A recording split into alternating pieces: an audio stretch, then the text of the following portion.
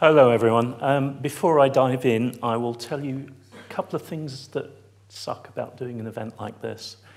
The first one can be that I can almost guarantee that I will come down with a cough just before the event happens. So do excuse me if I get some water and or collapse in a coughing fit during the course of this.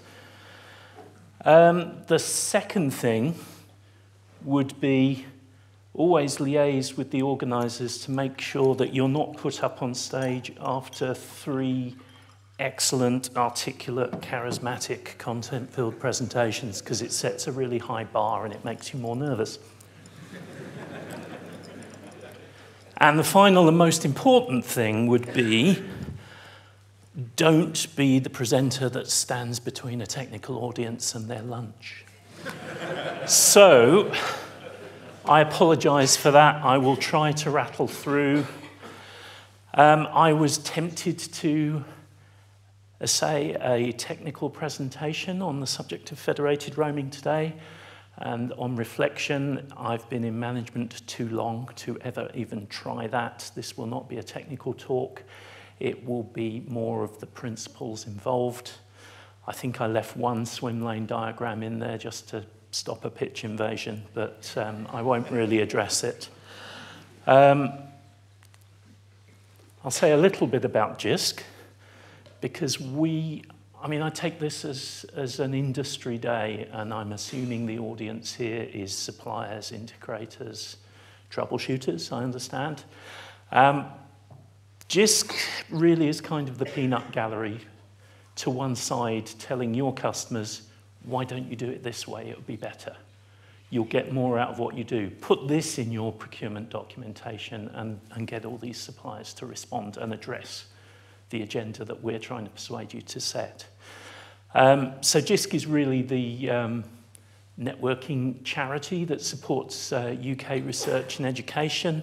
Um, we've got lots of fibre, big networks, busiest NREN in Europe, apparently, from the club of NRENs. NREN here is National Research and Education Network.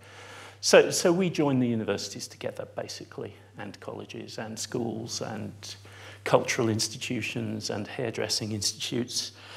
Um, one of the numbers here is fun.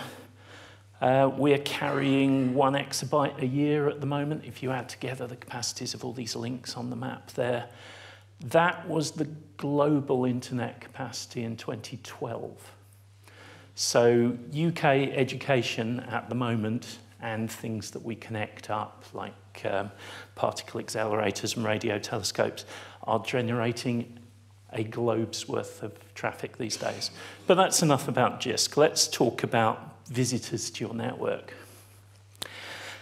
And really what you want to know about people who visit your network. And I think it's quite a short list, quite a common sense list. Um, who is this person that, that rocks up and says, please let me onto your network and let me launch unknown traffic across it? Where have they come from? Is it an organization you've actually heard of and are working with? Were they sacked last week for IT misdemeanors and have just come down the road to someone who will accept them as a guest with a bit of social engineering in order to wreak their revenge. Um, are they able or willing to sign your local AUP about what your guest network can be used for? And how much pain are you going to have to go through to configure their device? And that's before you even get to the point of letting them on your network. Um, I've been to places where you find the help desk eventually and it turns out to be in a different building to the one you've actually arrived at. And you go there and they say, oh, please take a seat where, while we get the person you're visiting to come from their office and sign a piece of paper to say that we can give you this scratch card with a password on it. And the one that they rarely ask, and they probably should be asking, is how long I'm going to be there. Is this a three-day visit? Should that account be left running for three days? Am I just there for the hour and should it be deleted almost straight away? What attack surface is left by unattended guest accounts because you can't quite assume that the guest has gone? So there's all these overheads. I've been challenged for identifying information. I've had support desk staff phone a number back, of, back at my organisation, a number that they asked me to give them. So I'm not sure how secure that was. I've, I've signed pieces of paper in the usual end user way of scanning in a few seconds, something that would take one of our lawyers a week to review.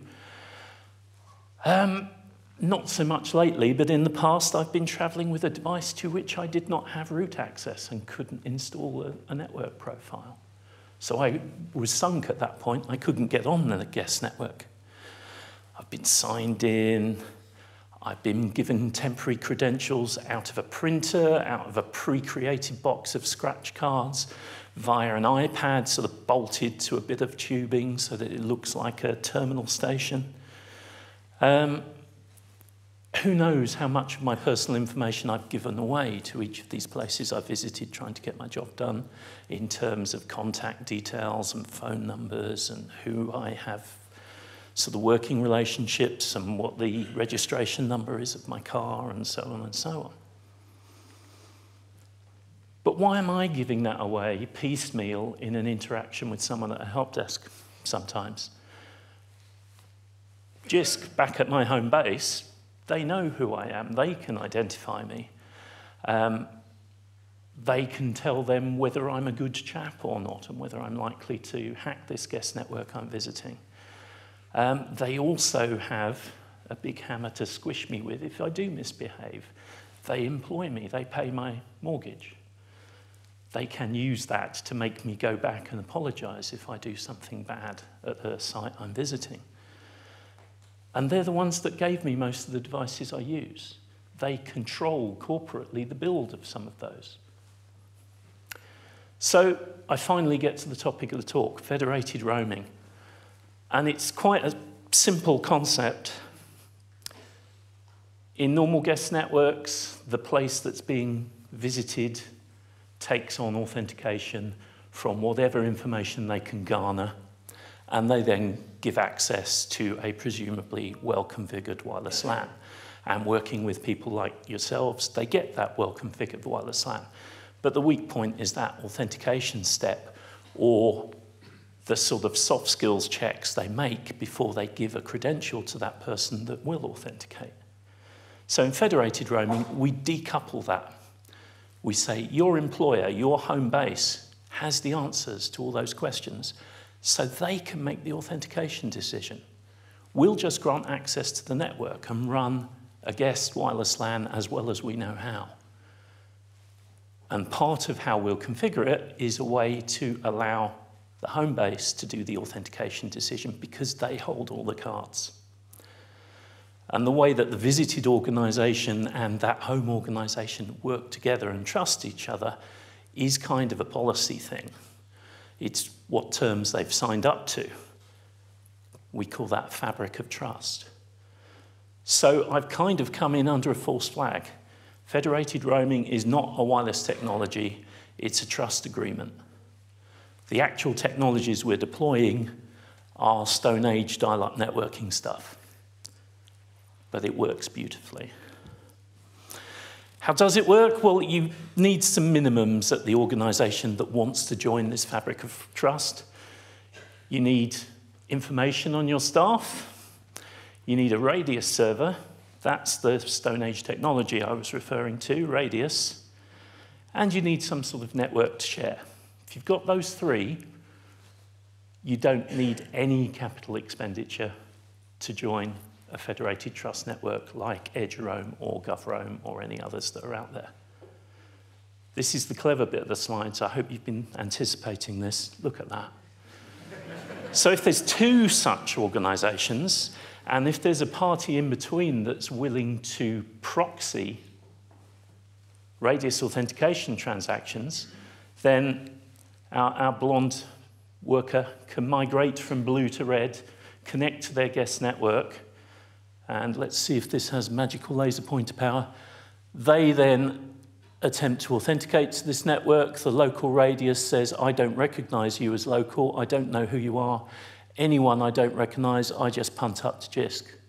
And JISC says, oh, we recognize who that person is, not from their identity. It's an anonymous transaction tunneled in 802.1X.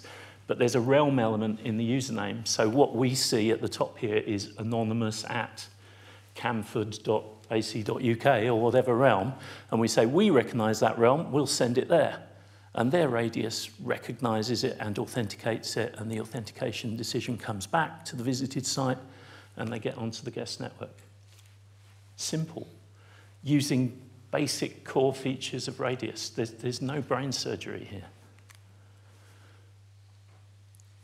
The only reason I left this slide in from the aborted first version, and apologies to whoever I stole this swim line on, lane on from the web, is, is this part of it. When it's an ETLS transaction, it's the network validating the client and the val client validating the network. There's actually heavy duty security and heavy duty encryption built in to this federated authentication that's being proxied across public internet. You can't get at the payload, it's AES encrypted, so those highly valuable credentials are secure.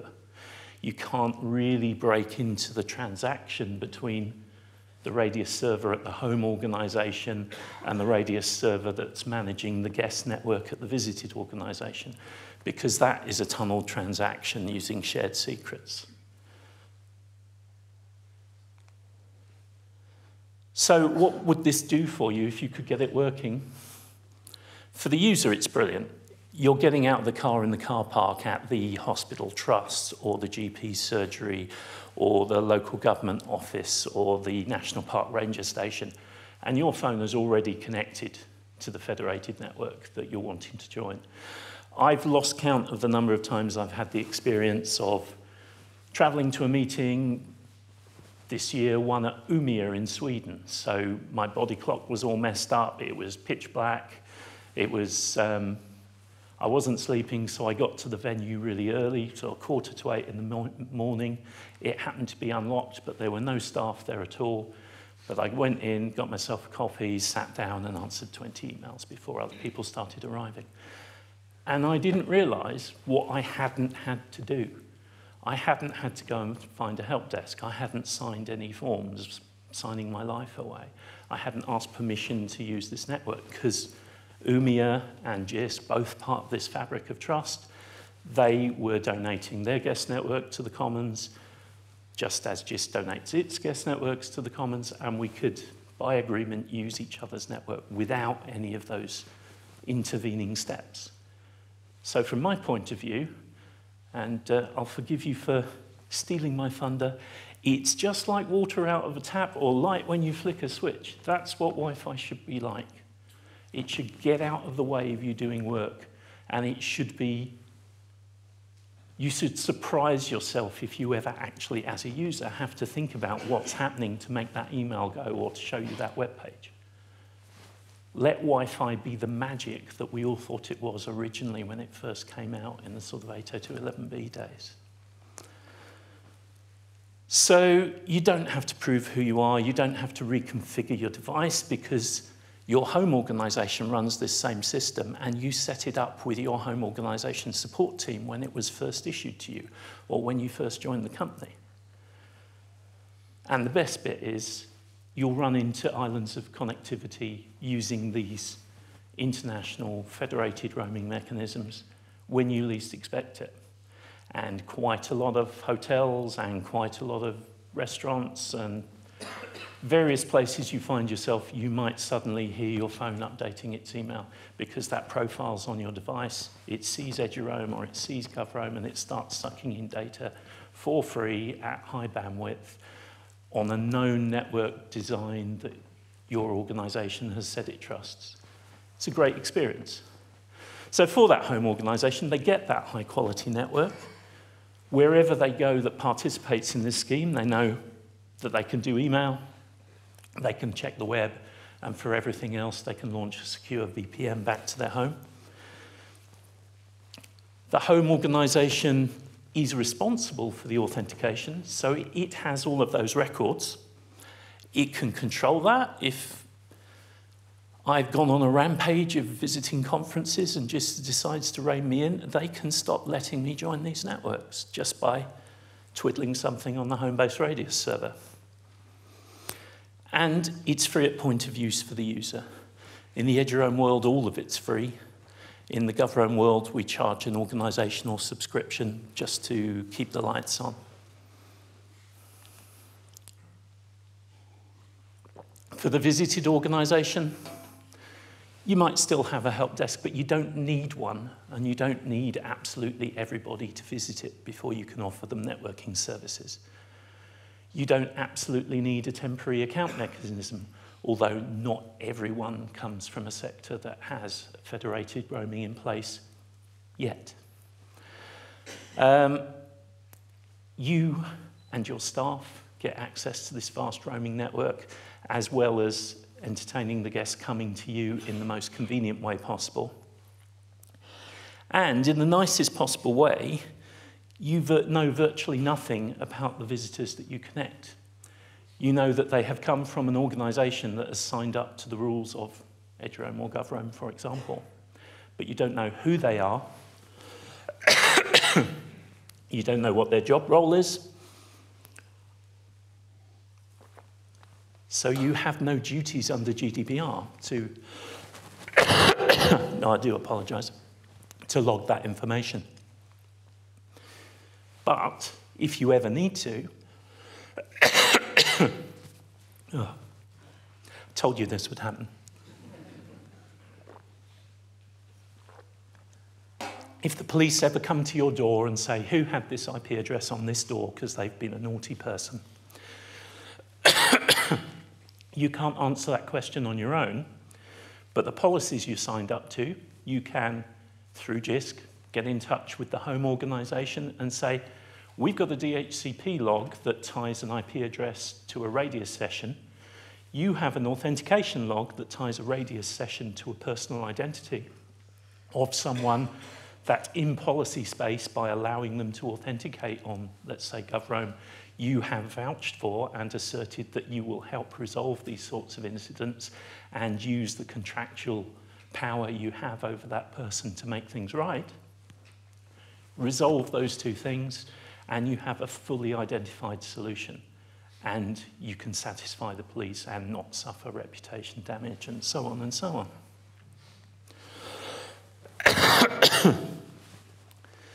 so we actually get to talking about an example of this network. You can see this wonderful spaghetti diagram, which is a bit grey on that screen. Um, I'd like to say that this is a picture of roaming transactions across a month in the UK today. This is a picture of one day of roaming transactions in 2002. It isn't worth updating this diagram because you just get a flat block of colour. At least here you can see some curves and the idea that people are moving from place to place. Edgerome, I don't know how many people are aware of it, but it is um, deployed across 101 countries, fully deployed in education. 18 are in pilot stages this whole experience of arriving in a car park at Umeå University in Sweden in the dark. It's that zero touch user experience. It grants that to all of these members. No one, I think, quite knows how many members there are across all of these nations. My estimate of current live um, Eduroam Own Credentials would be knocking on 100 million out there somewhere across the world.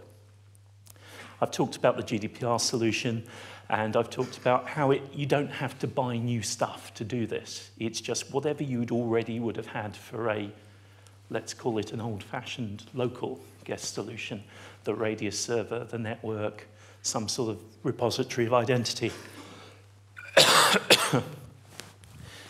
Now we get to some fun numbers. I haven't had my team repeat this calculation lately, so we're going back to March. But uh, we have this metric of roaming days, so every time we see a unique device at least once, that's a roaming day. When we see it away from its home organization, I mean. So our built-in assumption is that if we've seen that device, it means the person who owns it has traveled somewhere and is doing some useful work associated with their job. Big assumption in the education world, but let's run with it. Um, 11 million roaming days in one month. 50,000 person years. If only 1% of that is a real piece of research being facilitated or meetings happening or so on, it's a huge productivity boost for UK education. If we assume that instead of using Eduroam, they'd arrived at that site and sprinted from their car and spent five minutes finding the help desk, signing the forms, persuading them to let you on, reconfiguring their device, and that five minute of their time and the five minutes of the help desk person assisting them, just add those five minutes up if it's a member of staff whose job is roaming and they're doing this a couple of times a week. It's a thousand staff equivalent of time in the year. If we went to the organisation of UK universities and said, spread however you like across your membership. We'll, we'll fund a thousand members of staff. What could you do with that? I don't know what their answer would be, but I'm sure they'd fall off their chairs when we first made the offer. But we've already given it to them with Eduroam. It's just not surfaced very well and recognised. And we're seeing about 1.6 million unique devices per month in a busy period, quieter in the summer and so on. Another example. Oh dear, I've used the wrong slide there with that winner's badge on there. uh, best communication system um, for, for healthcare. Um, that's a recent award that I couldn't resist boasting about. Um, GovRome is, we've stolen all the ideas that were publicly funded in development for EduRome 15 years ago, and we've just scribbled out edu and written in gov in crayon, rebadged the whole thing, and we're selling it to the wider public sector. Sold on a at-cost basis. It's paid my train fare here, not much else. We could have taken 15 years of technology advancement and built GovRoam as an entirely new roaming solution but it seemed to me to have more value to say Eduroam was the 15-year proof of concept trial of the technology for GovRoam. It's absolutely guaranteed it will work. Um, our stakeholders seem to have believed that sort of spiel because starting as a test in 2016 and going properly live in, uh, I think, July 2017, uh, we've now just gone past 4,500 public buildings in the UK. By organisation, that's 40%, 42% NHS. I think by building, it's something like 46% NHS. From the smallest GP surgery to mega hospitals like Jimmy and Jimmy's and so on. Um, so GovRoam is out there duplicating the story of Eduroam and delivering those same benefits on a wider scale to different aspects of, of UK PLC. The way we've structured GovRoam is we've put another layer in the proxying hierarchy so we don't have direct visibility of all the roaming that goes on because about 80% of the roaming happens between close neighbours and we've structured the hierarchy so that that traffic never reaches the very top national level so we don't see it. So we, I can't give you the same sort of fantastic gosh numbers, um, but it's a heavily used network and it's actually delivering real benefits out in the world. And I'll just highlight one of those, which is the Kent Public Service Network. They've bought into GovRoam in a big way. Um, they actually uh, built a parallel infrastructure to do all of the authentication, and I think separate wireless controllers in some cases.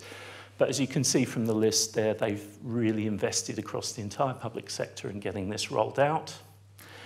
Um, in many of the appropriate cases, they've put out Eduroam at the same time. We've had the discussion about do we merge GovRoam and Eduroam and have a single public network? But for some reason, the local governments and the NHS trusts of the world have a deep fear of their public reception areas filling up with students draped over the couches and watching kitten videos. Um, the governance is very different. It's a, it's a different approach and a different need. So they are separate networks at the moment.